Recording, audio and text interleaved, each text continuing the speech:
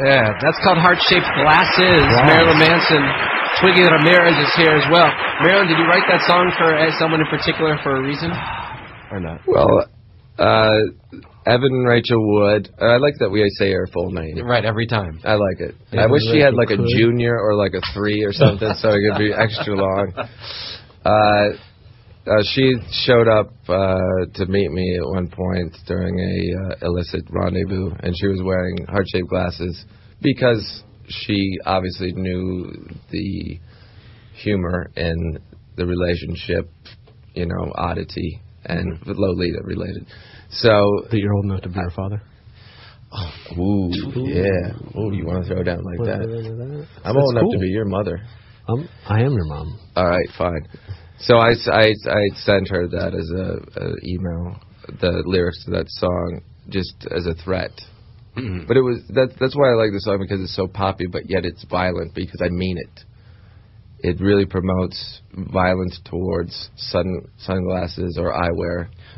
If there's any sort of romance problems, I think that you sh- should, you know, break the glasses. Evan Rachel Wood got a song written about her, and then uh, can you write can you write a fake one for me that I can pawn on as my own to a girl to get a girl? Because I have no, I'm not doing well. I don't think there's any song that's going to make that happen. Probably right. We got to go to a break. Marilyn Manson and Twiggy are here. Dr. Drew, he does just fine in his world. I'm just sitting over here. We'll be back in a minute on Loveline. 800 Love 191.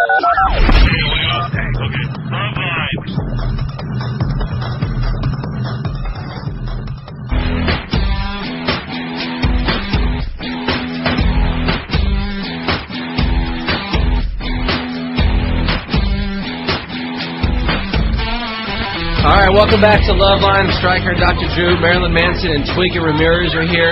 They're friends again. They're ma- they're they're gonna make music. They're going on the road together. They're gonna be playing songs. Absinthe is legal in the states now, isn't it, Marilyn? Well, they have the very Americanized version of it that doesn't contain wormwood, which is the in lure, the the part that I enjoy. See, what you, you bring this guy and he causes I, you know, we're not supposed to pay attention to that. Remember? You said? I know, but it's distracting to me. Now, uh, I have my own absinthe called Mansinthe. Unacceptable. And I think that I probably only uh, made it to uh, so I wouldn't have to buy it all the time. And is it for sale on the internet? It is. Manson. Manson. Interweb. What Isn't color that is clever? it? Yes. It's green. Okay. I think I've had it. Probably. Just like, well, we won't name names. Okay. But uh, you know, it's I don't like I don't like alcohol, anything. and I don't like anything either. I I don't don't like like alcohol as you know separately. I've had my experience with Jack Daniels, then I had my experience with vodka, tequila. I really try to avoid. And I'm not even talking about that reality show girl, but just uh, that's that stuff gets you just simply drunk. But absinthe has a different effect because of the wormwood. But the stuff in America doesn't have wormwood. Mine does. Soon it will be legal in America. They'll sell it right next to uh, the thing that kills bugs in your yard. Got it. How do they sell it without the wormwood? I thought that's what it was made from. Uh, the the the, his, the brief history of absinthe, the the Pernod brothers.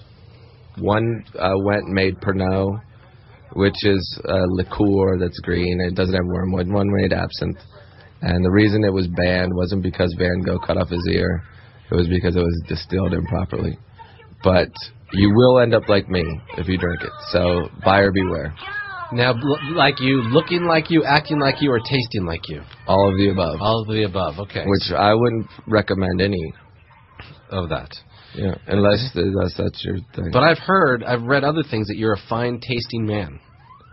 I don't know. What, where do you hear this? What, I- I what, what, what are you on? Um, what? What what what what? You mean if you were to what bite a blog? piece of- What blog were you reading on For that? you to consume a piece of him, Not necessarily And chew consuming A a, piece of tasting it. man. They turn me a off again. fine tasting man, a fine, a human As soon as I of break fine the tape taste. recorder out, they Wow. turn me off. Jay? right. I appreciate that. Yeah, it was a You good. probably had a a- Can you book read my publicist? Some pineapple juice. No, no, no, no. Yeah, no, I know pineapple juice. Yeah.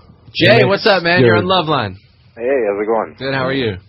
I'm doing all right. I got a question for you. Yeah. Oh, so I have been dating this girl for maybe eight, nine months, Yeah.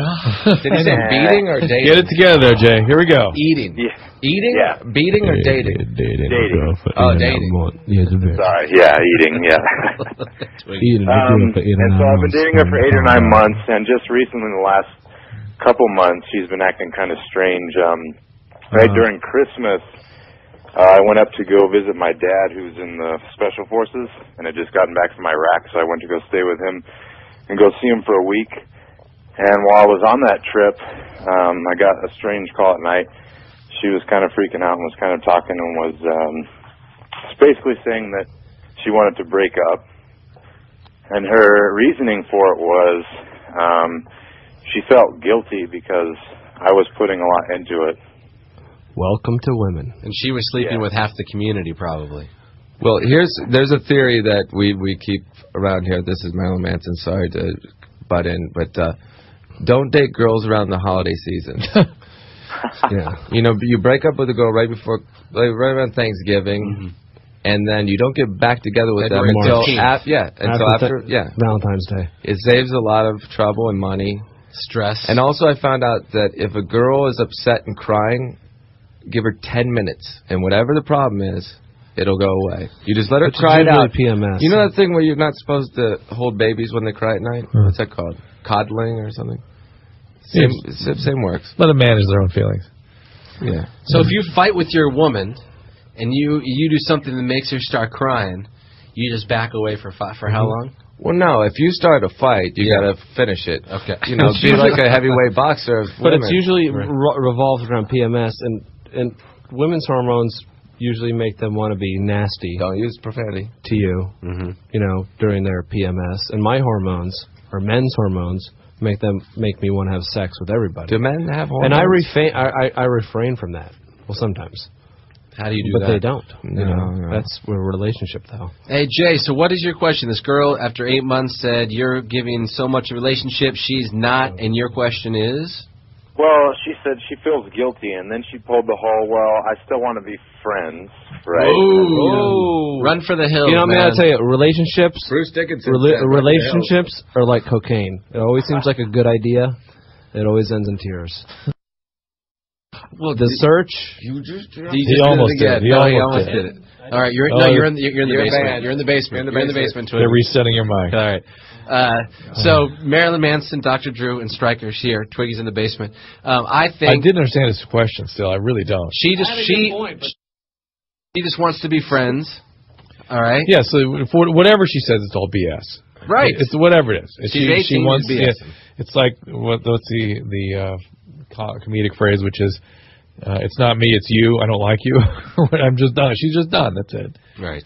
And at 18, by the way, guys and No, girls, it's, it's, not hard you. to break It's me. I don't like you. That's it. It- It's hard to tell someone it's over when you're 18 or 19. At tw- 25, 35, 40, when you know it's done, you, you know it's done. If you're dating a 40 year old girl, you're in trouble.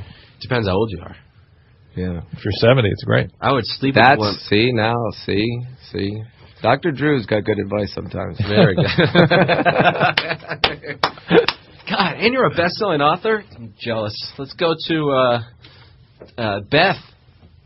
It's calling from New Hampshire. What's up? Beth, you hear her calling. Hi, how are you? Good. How are you? Good. I have a question for Marilyn. Yes. Um, I'm right in the middle of the book The Long Hard Road Out of Hell, and I'm wondering how accurate it is. It's about as accurate as well. I, I the only reason that I changed any of the facts was to avoid legalities, but I had to under exaggerate. So all the stories are are are less than what really happened. So I didn't I didn't make things sound worse. It's my it was really worse than what I wrote because Right. I would probably be in prison for what happened. Hey, what's the uh, what's the craziest story you've read in the book so far? The Long Hard Road Out of Hell by Marilyn Manson. Well, I got to tell you, this, the weirdest thing was the whole grandfather thing. Yeah, th- well that Which know- is what? Explain. Oh no, it's uh, well, it's how I yeah, started the that's story. funny, but that that Uh, was. I grew up that part. Having a weird experience with my grandparents, and I don't have any grandparents really now. And in fact, my family has kind of been reduced